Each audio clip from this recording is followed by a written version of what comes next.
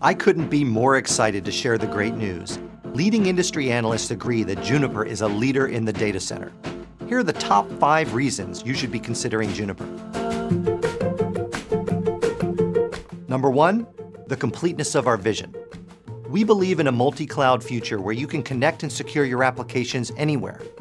Number two, we get that multi cloud must be multi vendor. We've built our portfolio on open principles.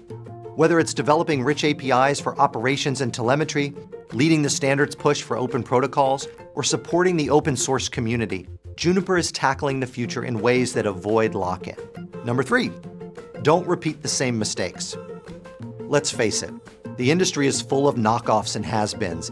Juniper offers a common open software layer across our devices and one orchestration platform to manage multi vendor networks.